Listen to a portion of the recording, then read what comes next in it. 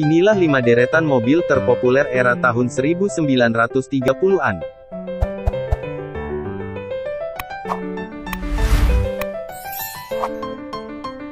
Mobil klasik yang sangat cantik dan menawan di era tahun 1930-an, dan populer pada zamannya, sehingga menjadikan lorong waktu bagi pencinta mobil klasik saat ini.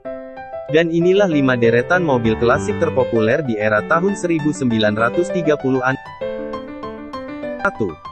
Packard 12 Stationery Coupe 1933, desain yang indah dan cantik pada mobil antik ini, dirancang oleh Dietrich Incorporation di New York.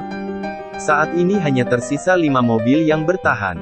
Menyimpan sejarah panjang yang terkenal, mobil berpenggerak rear-wheel drive ini sekarang dijual seharga 4,18 juta dolar AS atau setara dengan 59 miliar rupiah.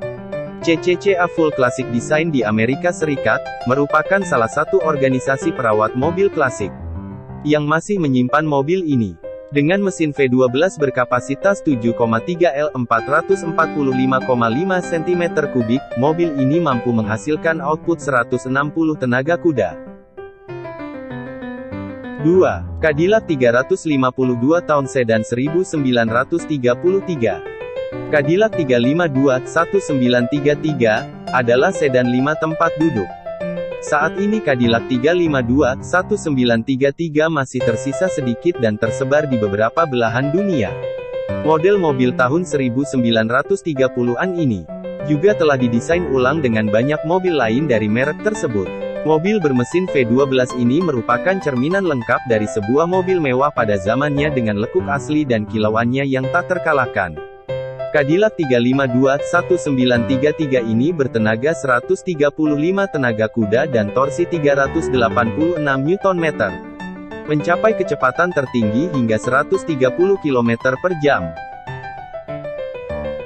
3. Packard 12 Dual Cow Sport Phaeton 1935 Packard 12 Dual Cow Sport Phaeton 1935, seri 1207 menghasilkan 175 tenaga kuda dalam mesin LHT V12 yang dimodifikasi. Mobil ini, diyakini sebagai salah satu karya yang diproduksi dari hanya empat mobil, pada tahun 1935 dengan tipe serupa. Mobil yang tergolong mewah pada tahun 1930-an, ini masih cocok untuk touring, dan salah satunya baru-baru ini telah terjual seharga 319.000 dolar AS. 4. Lebaron Marmon 16 Limousine 1932 Lebaron Marmon 16 Limousine, hanya diproduksi sebanyak 400 unit pada era 1930-an silam. Limo mewah pada masanya ini, mampu mencapai kecepatan hingga 105 mil per jam, 170 km per jam. Terakhir, mobil ini dimodifikasi untuk dilelang pada 2010 lalu. Salah satu mobil terbaik tahun 1930-an ini akhirnya terjual seharga 346.500 dolar AS pada 2010.